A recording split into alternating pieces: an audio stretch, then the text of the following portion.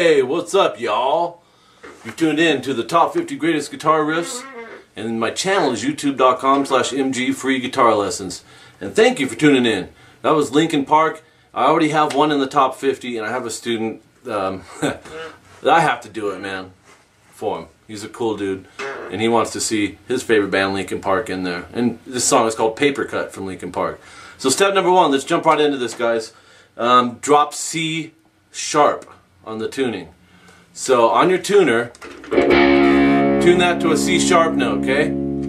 From there, if you know how to drop D tune, you use that same concept. There's different ways to do it.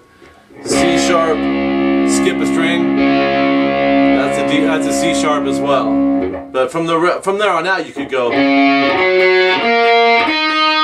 So I'm gonna assume most of you guys can know how to tune to drop C sharp. I promise you, I will do some drop tune, some alternate tuning lessons in the future. Okay, so let's jump right in. We're gonna I'm gonna show you the intro and then the part right after that. Okay. And so what you want to do? Take your first finger, bar fret 10. Leave it there. Don't move it at all through this whole intro. Any movements taking place will be with this and this. Or if you choose to do it like that. But I do it like this. So we're to go E and B. And other ring together? You don't, that's why I'm telling you to bar it. You don't want to go, keep it barred.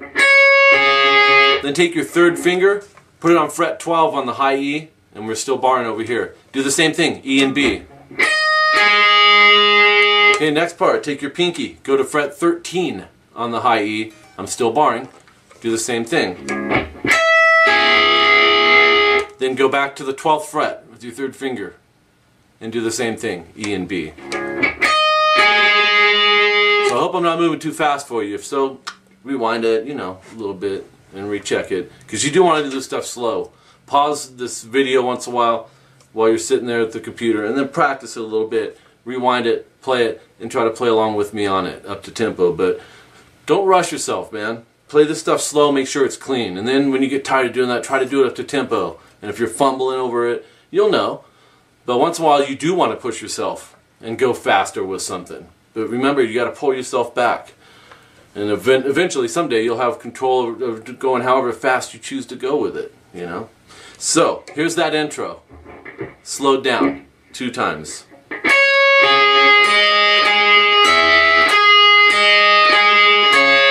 can leave this third finger down right now if you want. And then up to tempo, it's about like this.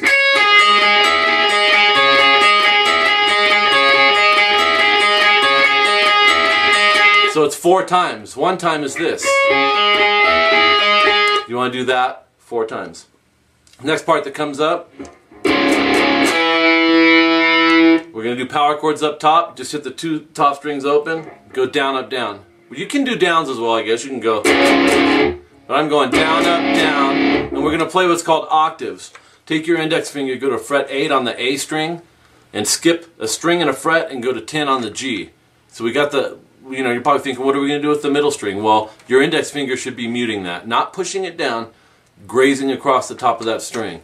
And that's called an octave. We won't get into why it is, but trust me, they're octaves. And then you're going to hit from the A string down to the G. Take your index, go up there and tuck it underneath the low E while you're at it, so you don't have that string accidentally ringing. You should only hear two notes here. Those two. And I wind up catching that with an upstroke. Don't worry about that if it's too much right now. Take that, move it back a half step to 7 and 9. We're still doing an octave, just on a different fret. So.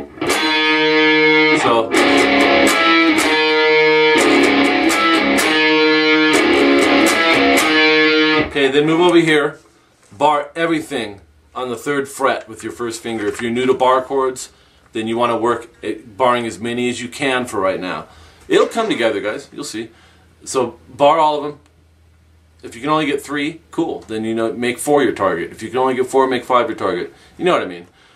Eventually you'll get all six. Then take your third finger, go to 5A, your pinky, put it right underneath that on 5D. Okay? And check them first. Go. Oops, I'm sorry. Hope I explained that right. Third fret is barred. Don't put your third finger down on the A, put it on the D5, put your pinky under that on the G5.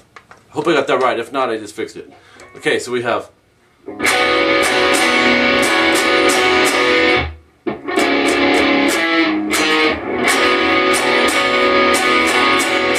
I'm going up, I'm going like this, up, up, down, down, up, down, up.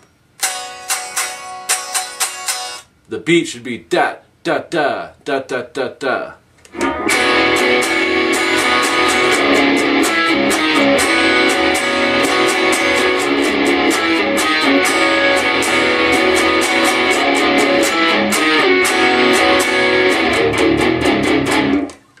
Um, they cut into the last one to go into that next part.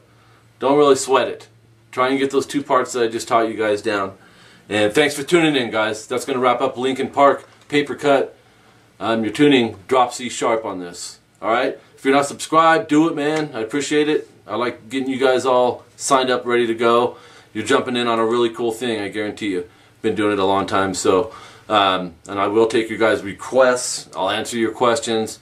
I'll get right back with you. If you look on my comments now, everyone that leaves something, I make sure to to let them know I appreciate them and help them if they have any questions. And I will continue to do that. I've got some cool things coming, website, all that very soon. So you'll be seeing a lot of me, guys. My mug. All right, you guys, keep practicing. We will talk to you soon. Now go subscribe. Just do the right thing. Come on, man. Just do it. Do it for Mikey. Please. All right, see you later.